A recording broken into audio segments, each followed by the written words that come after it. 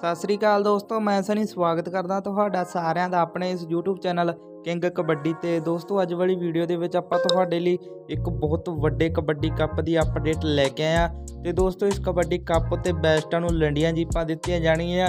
ਤੇ ਇਹ ਦੋਸਤੋ, ਇਸ ਵਾਰ ਬਹੁਤ ਵੱਡਾ ਕਬੱਡੀ ਕੱਪ ਹੋ ਰਿਹਾ। ਨਾਮਵਰ ਸੁਪਰਸਟਾਰ ਪਲੇਅਰ ਖੇਡਣਗੇ ਤੇ ਆਪਾਂ ਇਸ ਵੀਡੀਓ ਦੇ ਵਿੱਚ ਦੱਸਾਂਗੇ ਦੋਸਤੋ ਤੁਹਾਨੂੰ ਕਿ ਇਹ ਟੂਰਨਾਮੈਂਟ ਕਦੋਂ ਤੇ ਕਿੱਥੇ ਹੋ ਰਿਹਾ। ਸੋ ਦੋਸਤੋ, ਵੀਡੀਓ ਨੂੰ ਐਂਡ ਤੱਕ ਜਰੂਰ ਦੇਖਿਓ। ਵੀਡੀਓ ਨੂੰ ਦੋਸਤੋ ਚੰਗੀ ਲੱਗਣੋ ਤੇ ਲਾਈਕ ਤੇ ਸ਼ੇਅਰ ਜਰੂਰ ਕਰਿਓ। ਤਾਂ ਚਲੋ ਦੋਸਤੋ, ਵੀਡੀਓ ਨੂੰ ਸ਼ੁਰੂ ਕਰਦੇ ਹਾਂ। ਤਾਂ ਦੋਸਤੋ, ਇਹ ਟੂਰਨਾਮੈਂਟ ਕਰਵਾਇਆ ਜਾ ਰਿਹਾ ਮਿਤੀ 4-5 ਮਾਰਚ 2023 ਨੂੰ ਪਿੰਡ ਆਸਪਾਲ ਦੇ ਵਿੱਚ। ਤੇ ਦੋਸਤੋ, ਇਸ ਟੂਰਨਾਮੈਂਟ ਉੱਤੇ ਕਬੱਡੀ ਇੱਕ ਪਿੰਡ ਓਪਨ, ਤਿੰਨ ਖਿਡਾਰੀ ਬਾਹਰੋਂ ਦੇ ਮੈਚ ਕਰਵਾਏ ਜਾਣਗੇ।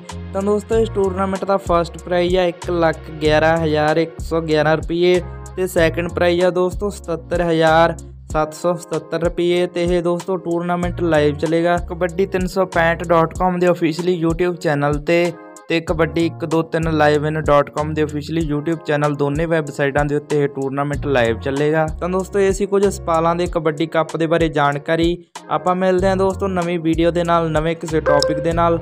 ਧੰਨਵਾਦ ਜੀ।